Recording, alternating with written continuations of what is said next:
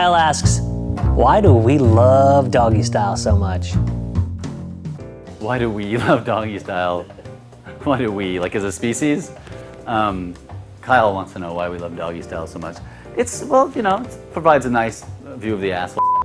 Probably because we don't have to make eye contact. And Lord knows one of the most uncomfortable things for any human being is eye contact, especially during an intimate moment. Ew, oh, it's so gross. More comfortable than looking someone in the eyes. You feel like you're getting, there's a, you get that kind of eye contact thing, but maybe because there's only one of them, it's not as intense.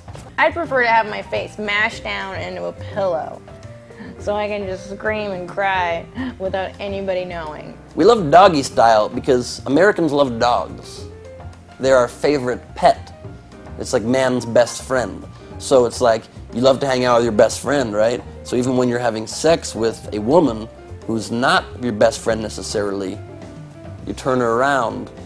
Now it's just like you're having sex with your best friend, but not like a human best friend, a dog. So it's like you're having sex with a dog. That's why we like it. I'm not good. I'm not good with girls.